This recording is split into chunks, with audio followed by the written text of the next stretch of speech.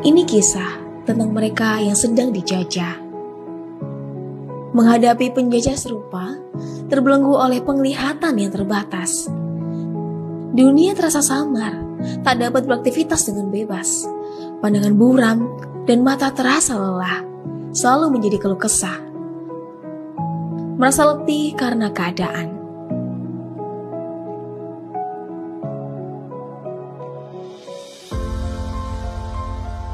Dengan harapan dan tekad yang kuat, ingin bebas serta merdeka, merdeka dari kacamata harus diperjuangkan.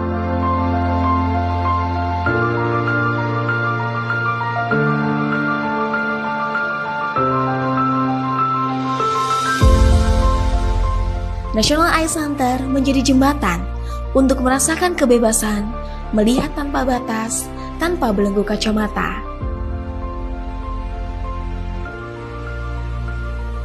Dirgahayu Republik Indonesia, penglihatan baru bangun Nusantara maju.